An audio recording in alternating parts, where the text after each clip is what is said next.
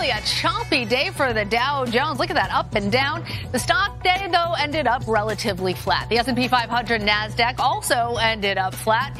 For more on all this movement without much movement, we are joined by David Bahnsen. He is the chief investment officer of the wealth management firm the Bahnsen Group. So tell us, what was driving the market today? You know, we, we tend to see big dips or big rises associated with news, but it just seemed like today it was all over the place. Yeah, I think that um, having a day like today where, you know, the Dow ends up basically totally flat is quite uncommon because you're right. We've had big up days, big down days, but not a lot of flat days. And the volatility within it was up and down, but it wasn't severe. There wasn't big gyrations up and down.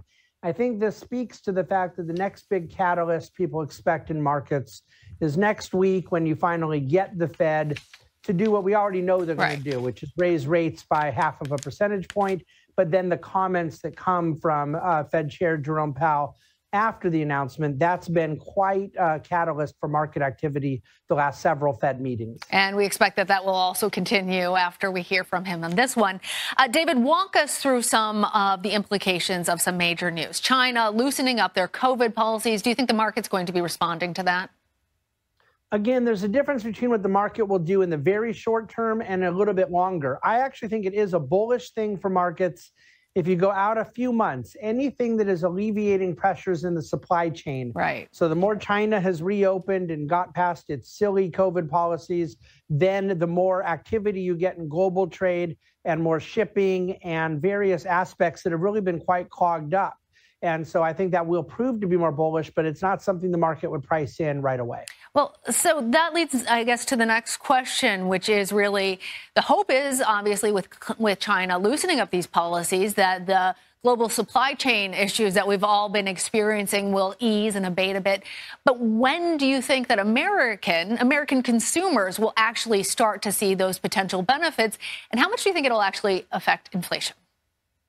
I think it's going to affect inflation a great deal, pushing inflation down. But I think we're already seeing the benefits in the sense that every aspect of the supply chain has improved over the last six months. And goods inflation has gone down every month for six months. Most of the inflation we're feeling right now is outside of that. It's things like the housing market that is now starting to mm-hmm. correct. Everybody knows rent prices are softening, not heating up. So you're going to feel some of that disinflation now, but I just think on the margin, it gets even better as more supply chain things open up. The shipping container costs have come back to pre COVID levels. And right now, the backup of ships trying to get into ports to get things delivered, that's totally unclogged. So those are key elements. What we still are missing is enough workers. We still don't have the same level of people handling packages at places like Federal Express and UPS, for example, that we did pre-COVID. Yeah, and that's especially a concern around the holiday uh, the holiday weeks. Yeah. But you make such a great point, David, about how much we saw those shipping container prices rise, and now the fact that they are back to pre-pandemic levels is a tremendous change. David Bahnsen, yeah. thank you.